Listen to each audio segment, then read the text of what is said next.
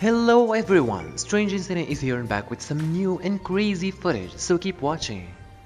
In this video, you observe a young dog displaying signs of discomfort due to the presence of a botfly larvae lodged inside. The veterinary practitioner is diligently working to extract the larvae, ensuring the well being of the canine companion.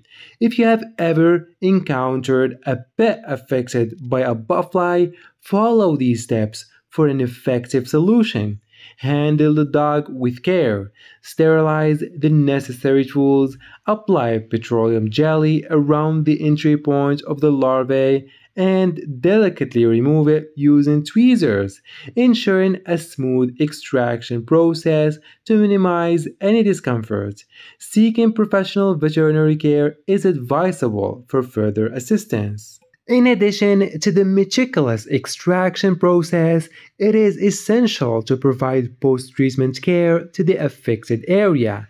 After removing the botfly larvae, cleanse the surrounding skin with a mild antiseptic solution to prevent infection and promote healing. Monitor the area closely for any signs of inflammation, swelling, or infection and consult a veterinarian promptly if any concerns arise.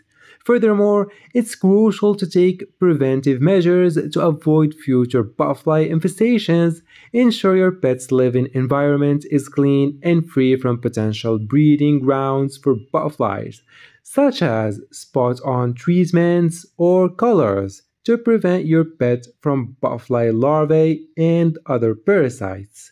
By following these steps and prioritizing your pet's well being, you can effectively manage and prevent botfly infestations ensuring a happy and healthy life for your canine companion. In addition to seeking professional veterinary care, you can also educate yourself about common pet parasites and how to identify and manage them effectively. Resources such as reputable websites, veterinary literature, and pet care guides can provide valuable insights into parasite prevention and treatment options.